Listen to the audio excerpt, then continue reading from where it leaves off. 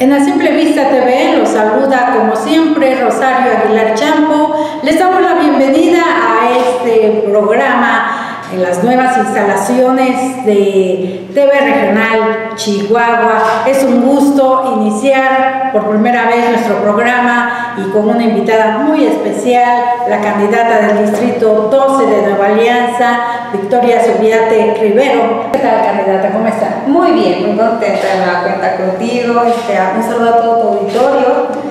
Pero ¿qué tan comprometida está usted con los ciudadanos de Chihuahua, de su distrito 12? Platíquenos. Bueno, el compromiso es primeramente como ciudadana. Soy parte precisamente de ese sentir, de ese dolor que tenemos nosotros los ciudadanos, más que ser ahorita candidata primero ciudadana. Como te lo decía, el compromiso es total.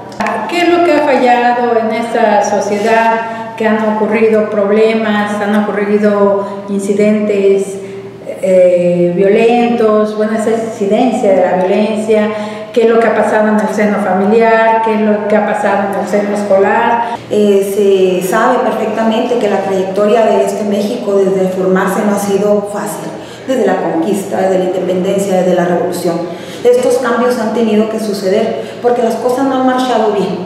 Entonces, donde existe desafortunadamente algún dolo, alguna situación que, no, que haga vulnerable a la sociedad, va a existir un derecho y por lo tanto va a haber personas quienes seamos luchadoras incansables para cambiar precisamente esa realidad. Todos somos parte de una realidad, todos. ¿Qué es lo que para mí como ser humano, como madre, como maestra, como ciudadana, ha sido el meollo del asunto aquí? Definitivamente el ser poco propositivos y más críticos, el no involucrarnos en las tareas y quehaceres como ciudadanos. Desafortunadamente tenemos esa credibilidad y se lo digo a mis alumnos, se lo digo a las personas con las que convivo, tenemos que ser más propositivos y tenemos que empeñarnos, lejos de esa crítica, proponer y pero ser parte de, esa, de ese crecimiento. Mm, desafortunadamente lo que nos ha invadido en la actualidad es la corrupción y la impunidad. Desafortunadamente esto llevó a grandes estragos por los que está pasando nuestro estado. A veces como maestra se me es difícil eh, llevar el mensaje de esperanza, de solución, de decirles a los chicos que sí se puede, que nos espera un futuro mejor, cuando a veces el panorama político, el panorama social o el panorama económico no nos ayuda. Más sin embargo, la solución definitivamente está en qué voy a hacer yo para cambiar esta realidad. ¿Qué es, ¿En qué se tiene que empeñar el ciudadano? ¿Qué tenemos que realizar los ciudadanos para ser parte de ese cambio? No está a expensas que nadie venga a solucionarnos la vida. Te lo comparto. En las colonias en donde he estado asistiendo, me preguntan y me dicen, es que todos dicen lo mismo, todos les prometen, todos dicen que van a volver, pero tengo la oportunidad de decirles que si gustan involucrarse en mi proyecto.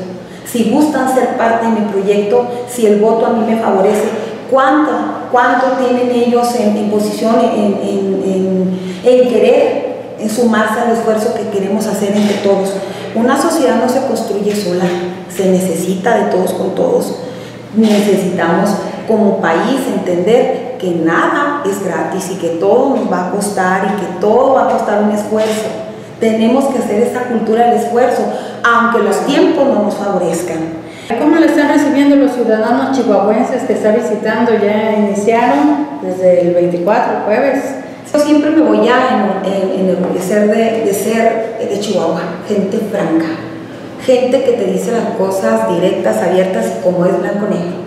Me han recibido calurosamente con respeto, pero también han sido críticos, yo les agradezco a todas esas amas de casa, a todos esos señores, a todos esos jóvenes que han tenido la oportunidad de recibirme en sus hogares y de darme esa crítica, pero sobre todo permitirme darles una propuesta. Me han recibido, pues tú lo acabas de decir, un poco receptivos, eh, están dolidos, como te lo mencionaba, como ciudadana, eh, piden y exigen el cambio, piden que hagamos nuestro trabajo, piden que vayamos más allá de una propuesta o de una promesa. Primero que nada, ir de la mano con esos proyectos que ya están encaminados a todas esas instituciones de transparencia y rendición de cuentas, a todas esas instituciones que se deberán de empeñar de que cualquier servidor público tenga la obligación de rendir cuentas desde que inicia hasta que concluye, desde el proceso de cómo reparte sus recursos, desde las formas que está utilizando para que esos recursos lleguen en tiempo y en forma. Iniciaríamos primero que nada por nosotros mismos, la rendición de cuentas. No es imposible. Es importante que esas instituciones se instalen de facto. Es importante que esas instituciones se lleven a cabo por medio de una comunidad política, social, de la mano. Platíquenos también sobre otras acciones, otras propuestas que contiene su esquema político, su campaña. Mi tema va encaminado, te lo decía la vez pasada, eh, eh, me estoy enfocando demasiado por las demandas del mismo distrito en los temas de la salud. Si un ciudadano, si un ser humano no se encuentra en salud, no va a poder rendir en ningún ámbito. Por lo tanto, lo que es mi, mi distrito, la diversidad que, ocupa de las, el anillo periférico zona norte y lo que es el campo en estos espacios rurales, Nuevo Delicias, Labor de Terrazas, y otras comunidades que, tengo que atender y que voy a atender con mucho gusto están muy alejadas de la seguridad social. Existen consultorios, llamados, dispensarios, eh, clínicos que están disponibles para la atención, pero no cuentan con el acondicionamiento ni el equipamiento que merecen todos esos habitantes de cada una de las comunidades. Es urgente analizar esa ubicación geográfica que deberá de atender y darles el servicio a cada uno de estos ciudadanos por medio de una clínica. Se va a gestionar, se va a sacar el recurso, tanto federal, estatal y municipal, para hacerle frente a esta necesidad urgente. Son eh, los ciudadanos los, los que me demandan que en ocasiones el médico está en atención ahí, pero tiene su horario. ¿Qué quiere decir? Que tendrás horario para enfermarte que deberás enfermarte cuando el médico esté atendiendo, que el medicamento por falta de ello pues tendrás que esperarte hasta la semana que, viene para que llegue el paracetamol, el diclofenaco, que es lo que ellos argumentan se les da. Es una atención no en muy, buen, este, muy buena calidad de servicio y lo demandan.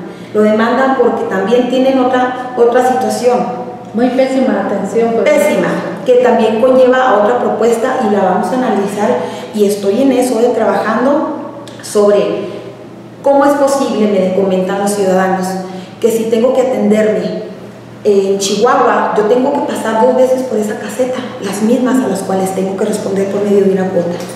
Hace poco estuvieron embaradas eh, las instalaciones por medio de los campesinos, donde piden solución a que el cobro de la caseta se exente a esos ciudadanos que están cercanos a la caseta. Estamos en el análisis del por qué no se ha llevado a cabo, el por qué esa mm, negatividad para poder resolver esta situación. Y eso que estoy hablando en el tema de la salud.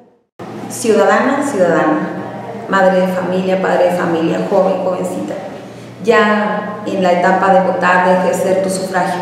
Te pido que me des con tu voto la confianza de seguir haciendo algo por mi sociedad. Mi compromiso es franco. Mi fortaleza y mi voluntad, sumada a muchos intereses de todos los ciudadanos de Chihuahua, vamos a cambiar esta realidad. La esperanza es lo último que muere. Y la esperanza va con mis propuestas, pero sobre todo con el empeño de mi trabajo. Por victoria al Distrito 2.